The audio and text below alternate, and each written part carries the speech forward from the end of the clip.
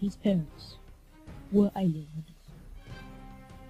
At the age of three, he witnessed their death to an alien, the most deadly and sought after alien on Earth.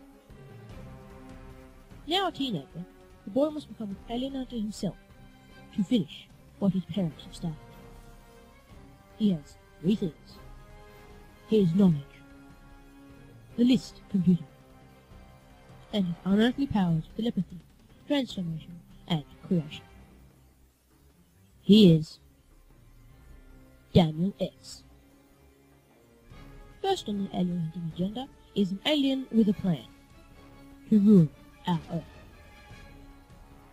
Along this seemingly self-page turning adventure, he has his friends Willie, Joe, Emma, and Dave. But to him, there are many aliens. However, on their list, there is only one. Him.